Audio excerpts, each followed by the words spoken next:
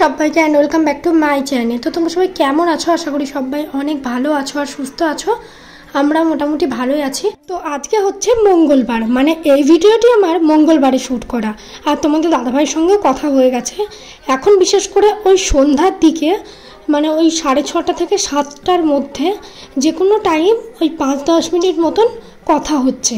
তো এটাই টাইম দেওয়া আছে সবাইকে মনে হয় যে ফ্যামিলিতে কথা বলার জন্য। তো ওই টাইমটুকু কথা হয় বা হয়েছে, কিন্তু কিচ্ছু বোঝা যায় না। এত নেটওয়ার্কের সমস্যা, ওই কোনো রকমে হোয়াটসঅ্যাপে দুই একটা মেসেজ পাঠিয়ে দেয় আর ভিডিও কল করে, কিন্তু কিছু দেখা যায় না। তাই বাধ্য হয়ে আমি কিছু ভয়েস মেসেজ পাঠাই আর ও কিছু টেক্সট করে, এইটুকুনি যা কথা হয়। আর ও আমাকে বলে রেখেছে, তোমার সারাদিনের যা কথা আছে আমাকে ভয়েস পাঠিয়ে দেবে সব। আমি সন্ধ্যাবেলায় যখন নেট পাবো, তখন দেখে নেব ভয়েসগুলো তাহলে তুমি সারাদিন কী কী করেছ জানতে পারব। ভাবতে পারছ কেমন আইডিয়া যাই হোক, আজকে সকালবেলা একদম ছাদে গেছিলাম, গিয়ে বেশ কিছুক্ষণ হাঁটা চলা করলাম ছাদের উপরে চারিদিকে। আর মোটামুটি ছাদটা এতটা বড়, পাঁচ দশ বার যদি পাক মারা যায়, অনেকটা হাঁটা হয়ে যাবে। তো যার জন্য বেশ কয়েকটা পাক আমি ছাদে মেরে নিয়েছি, তারপরে নিচে চলে এসেছি, এবার বিছানাটা গুছিয়ে নেব। আর বেলা কিন্তু অনেকটাই হয়ে গেছে। হঠাৎই তোমাদের দাদাভাইয়ের একটা ফ্রেন্ডের ওয়াইফ আমাকে কল করল মানে পরিচয় আগে থেকেই রয়েছে, বিয়ের আগে থেকে, এখানকার। তো তাকে আমি বলছিলাম, আগের বার যখন ছিলাম, আসো আসো কিন্তু তখন সে আসতে পারেনি। তাই এবার আসার আগে আমি বলেছিলাম যে, এবার যখন যাব তখন কিন্তু একদিন আসবে। তো ও আজকে আসবে বলল আমাকে সকালবেলায় উঠে। তো ভালোই হবে।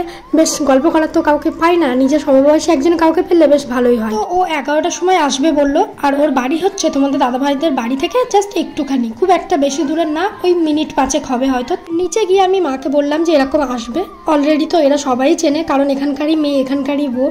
তো বলল, ঠিক আছে। তো আমরা মেনু ডিসাইড করছিলাম কি রান্না হবে, না হবে। সেই টাইমে হঠাৎই একটা ফোন এলো, দিদিভাই ফোন করল। তোমাদের দাদাভাইয়ের বড় পিসি। মানে আমার বড় পিসি শাশুড়ি আর কি, তিনি মারা গেছেন হঠাৎই মানে সকালবেলাতে ফুল টুল তুলে এনে স্ট্রোক হয়ে মারা গেছে। বাড়ি থেকে সবাই দেখতে বেরিয়ে চলে গেছে।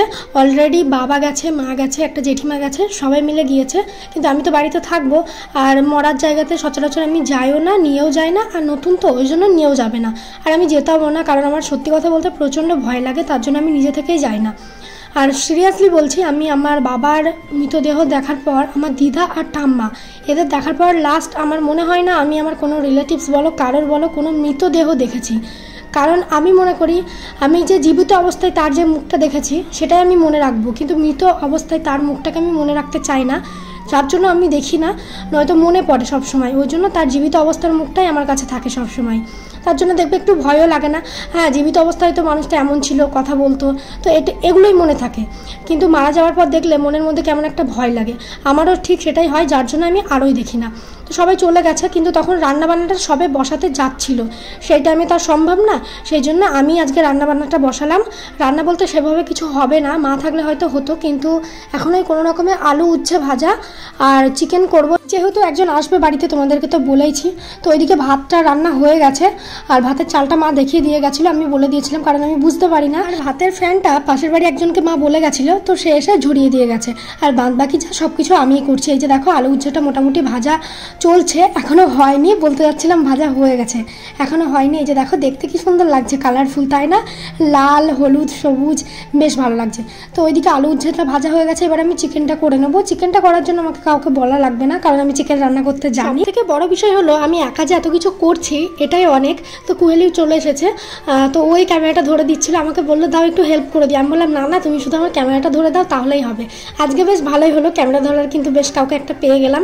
কত সুন্দরভাবে ভিডিওটা হচ্ছে, দেখো। অন্য সময় তো আমাকে ব্যাক ক্যামেরায় একা হাতে ধরতে হয়, যদি কিছু রান্না বান্না করি। তো এইদিকে দেখো, হলুদটা একটু মনে হলো বেশি ফেলে দিয়েছিলাম, ওই জন্য ওকে জিজ্ঞাসা করলাম যে হলুদটা কি বেশি হয়ে গেল? বলল, না না, দেখো কেমন কালার হচ্ছে তাহলে বুঝতে পারবা। তো চলো, ঝটপট রান্না করে নিই। রেসিপি শেয়ার করার তো কিছু নেই, সেই ফাঁকে আমি কয়েকটা কথা তোমাদেরকে বলি। আজকে একটা শর্টস ভিডিওতে আমার একজন সাবস্ক্রাইবার আমাকে বলেছে, দিদি ভাই, একজনের নাম মেনশন করে, নামটা আমি বলতে চাই না। তো সে আমাকে বলেছে, দিদি ভাই, তুমি আগের দিন লাইভে এসেছিলে বলে আর একজন লাইভে এসছে, তো সেই নিয়ে কেউ কিছু বলেছে। তো কমেন্ট আমার চোখে পড়ল, তার একটা কথা বলি। কিছু মানুষ এমনও রয়েছে যারা আগুন লাগিয়ে দিয়ে বেশি মজা পায়। জানো তো, দেখবে আমাদের জীবনে যদি তুমি সুখে থাকো, তখন তাদের সহ্য হবে না। কিন্তু তুমি যদি কষ্টে থাকো, তাদের ভীষণ আনন্দ লাগে। যখন আমি বা আমরা, নিজেরা যখন এইসব বিষয়গুলো নিয়ে কেউ কার মাথা ঘামাতে চায় না, অন্যেরটা নিয়ে আমি বলব না, আমি শুধুমাত্র আমারটা নিয়ে বলব। আমি যখন অন্যের বিষয় নিয়ে মাথা ঘামাতে চাই না, তখন কেন, কি কারণে আমাকে নিয়ে এই কথাগুলো ঘটে? যদি তোমাদের আমার ভিডিও ভালো লাগে, দেখো, নয়তো দেখো না। কিন্তু এই ধরনের কমেন্ট করবে না। আর একটা কথা বলে দিই যার নাম তুমি মেনশন করেছ, আমি জানি তুমি আমার সাবস্ক্রাইবার আমি তোমাকে বলছি না, কিন্তু যারা এই কাজগুলো করেছে, আমি তাদের উদ্দেশ্যে বলছি যে ইউটিউব এমন একটা জায়গা, এটা কারোর ব্যক্তিগত না। কে কখন কি করবে সম্পূর্ণ তার ব্যক্তিগত ব্যাপার। আর একটা কথা বলে দিই কিছুদিন আগের ঝামেলার পর যার নাম তুমি আমাকে বলেছ, তাকে আমি ব্লক করে do not recommended this channel করে করে দিয়েছি। আর এটা করলে কি হয়, সেটা আমার মনে হয় সবাই জানি। সেই চ্যানেলের ভিডিও আর আমার সামনে আসবে না।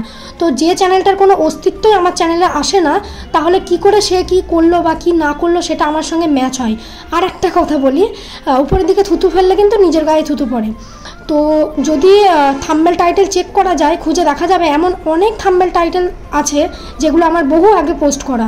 তাই আমি যখন নিজে এইসব বিষয় নিয়ে কথা বলি না, তাই আমি আশা রাখব কারোর সঙ্গে ইন ফিউচারে তোমরা আমার কম্পেয়ার করবে না। কারণ যে চ্যানেলগুলোর নাম আমি আমার সঙ্গে জড়ানো শুনতে পাই, প্রত্যেকটা চ্যানেলকে আমার ব্লক করে do not recommended this channel করা আছে। আশা করি তোমাদেরকে আমি পুরোটা বোঝাতে পারলাম। এরপরে আর ফার্দার কেউ এইসব বিষয় নিয়ে কথা বলবে না, আশা রাখব। কারণ আমি যাতে কোনো রকমের ঝামেলার মধ্যে না যাই, তার জন্য সেই সব চ্যানেল থেকে কোনো ভিডিও আমার সামনে আসে না, তাই কোনো কিছু ম্যাচ হওয়ার তো কোনো প্রশ্নই ওঠে না। আগের দিন আমি ভিডিও পোস্ট করতে পারব না ভেবেই আমি লাইভটা করেছিলাম। আর কুহেলি ছিল তো সেই জন্য আমার ভিডিও এডিট করা হয়নি, ওর সঙ্গে গল্প করছিলাম সারাদিন। যার জন্য কোনো ভিডিও পোস্ট করব না, কী করব? এখানে এসে তো একদিনও লাইভ হয়নি, তাই লাইভটা করেছিলাম। আশা করি সবটা তোমাদের কাছে ক্লিয়ার যদিও আমি কিছু মানুষকে এই ধরনের কৈফিয়ত দিতে বাধ্য নই, শুধুমাত্র যে কমেন্টটা আমাকে করেছিলে, আমি তোমার জন্য ভিডিওটা বানালাম। কারণ আমি জানি তুমি আমার ভিডিও ডেলি দেখো। তো আশা করব সবার কাছে সব ব্যাপারটা ক্লিয়ার হয়ে গেল। যে যার মতন আছে তাকে তার মতন ভালো থাকতে দাও। আমি আমার মতন, আমি কারোর মতন না। আমি আমার নিজের মর্জির মালিক। সব থেকে বড় কথা হলো। তাই ওই কিছু কিছু হাতে গোনা মানুষকে আমি বলব ভিডিও দেখতে ভালো লাগলে দেখো, না লাগলে যার ভিডিও দেখতে ভালো লাগে অনলি তার ভিডিও দেখো। কিন্তু এরকমের অবান্তর কিছু কথা আমাকে নিয়ে বলবে না। যাই হোক তো ওইদিকে রান্নাবান্না সেরে স্নান করে উঠতে উঠতে তিনটে বেজে গেছে। তারপরে খাওয়া দাওয়া করলাম দুজন মিলে। তো চিকেন রান্নাটা আজকে বেশ ভালোই হয়েছিল। আর আমি একটু শাড়ি পরে নিলাম আজকেও। কেন বলো তো? কারণ কুহেলি রয়েছে, তো আমার ক্যামেরাটা ধরে দিতে পারবে। দু চারটে রিলস বানাবো। বেশি না, দুই তিনটে মতন। তো তারপরে আমি ভান্ডারে টাকা ফেললাম দেখতে পেলে। দুই দিনকার টাকা জমানো ছিল। পঞ্চাশ, পাঁচটা, দশ টাকার কয়েন ছিল আর একটা পঞ্চাশ টাকার নোট ছিল। বাবা দিয়েছিল, কিন্তু আমার ফেলাই হয়নি, তাই একবারে ফেলে দিলাম। আর এই ভিডিওগুলো সব কুহেলি করে দিয়েছে। যারা জিজ্ঞাসা করছিলে যে, দিদিভাই, তোমার ক্যামেরা কে ধরে দেয়? আমি কিন্তু আগের দিনের ভিডিওতেই বলেছি। আমার ক্যামেরা আমি এক জায়গাতে বসিয়ে রাখি। কারণ এখানে তো এখনও স্ট্যান্ডটা নেওয়া হয়নি। তোমাদের দাদাভাই বাড়ি আসলে আমি স্ট্যান্ড অর্ডার করব। তো তখন পেয়ে যাব হাতে। আর আজকে যেহেতু ও এসেছিল, সেই জন্য আমি আরোই শাড়ি পরলাম। তাহলে দু চারটে রিলস বানানো হয়ে যাবে। আর ট্রেন আসার জন্য ওয়েট করছিলাম। সত্যি কথা বলতে ব্যাকগ্রাউন্ডটা কিন্তু অসম্ভব সুন্দর। তোমাদের দাদাভাইদের বাড়ির এই ছাদটা। পিছন দিয়ে যখন ট্রেন যায়, বিশেষ করে দারুণ লাগে। আর সূর্যটা যখন ডুবে যায়, সেই টাইমে যখন রিলসগুলো বানায় না, আকাশটাও দেখতে দারুণ লাগে। তো রিলস টিলস সব বানানো হয়ে গেছে। তোমরা ইনস্টাগ্রামে তো পেয়েও যাবে। অলরেডি আমি ইউটিউবেও পোস্ট করে দিয়েছি। আর আজকে শাড়ি পরে আমাকে কেমন লাগছে সেটাও কিন্তু অবশ্যই কমেন্ট করবে। সারাদিন আমরা দুজনেই ছিলাম, তারপরে এই জাস্ট বাবা মা বাড়িতে এলো। সন্ধ্যাবেলায় নিচে আমি চাটা করে দিয়ে একবারে উপরে আসলাম। এসে একটুখানি ঘরে ধূপ দেখিয়ে দিচ্ছি, আর কোহেলি এখনও নিচে রয়েছে। চলে যাব চলে যাব বলছে, কিন্তু আমি তো ওকে যেতে দেবো না। কারণ ওকে বলেছে আজকে তোমাকে আমার সঙ্গে থাকতে হবে, আর যদি না থাকো এরপরে আর আমি তোমাদের বাড়ি কোনো দিনও যাব না। এটা হচ্ছে ইমোশনাল ব্ল্যাকমেল কারা কারা করো এরকম অবশ্যই বলবে কিন্তু। তো যাই হোক, তারপর কোনো রকমে ওকে রাজি করিয়ে রেখে দিয়েছি। আর আজকের মেনু এখন হচ্ছে আলুর পরোটা, রাতের। তো তার জন্য আমি এই যে দেখো আলু কাটতে বসে পড়েছি।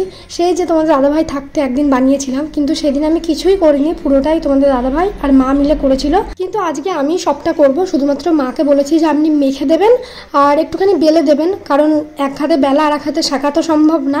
আর এইদিকে বাদবাকি যে কাজগুলো, সেগুলো সব আমি করে নিচ্ছি। প্রথমে আলুগুলোকে কেটে ভালো করে ধুয়ে এই যে জলের সিদ্ধ বসিয়ে দেবো। আর এই আলুর পরোটা কিন্তু নিরামিষ বা আমিষ দুটো রকমভাবেই বানানো যায়। যদি আমি একবার ভিডিও দেখে নিলাম, মনে নেই, অনেকদিন আগে সেই দেখেছিলাম তোমাদের দাদাভাই যখন করেছিল। তো পেঁয়াজ কুচি করেছি, ওটাকে একটুখানি ভেজে নেব আর জিরে গুঁড়ো করব, তার জন্য জিরেটাকে হালকা করে ভেজে নেব।